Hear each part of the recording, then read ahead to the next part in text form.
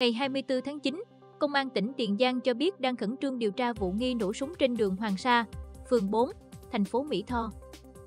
Theo thông tin ban đầu, khoảng 20 giờ ngày 23 tháng 9, một nhóm thanh thiếu niên, khoảng 4 người, đang ngồi uống nước trên vỉa hè trước nhà số 64, đường Hoàng Sa, phường 4, thành phố Mỹ Tho.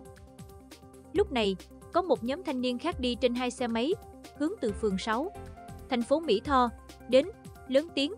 Một trong những thanh niên trong nhóm này xuống xe, cầm dao tự chế và vật, nghi là súng, bắn nhiều phát về phía nhóm thanh thiếu niên ngồi uống nước.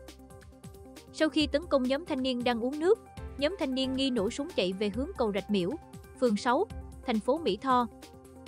Tại hiện trường, lực lượng công an thu giữ 5 vỏ đạn,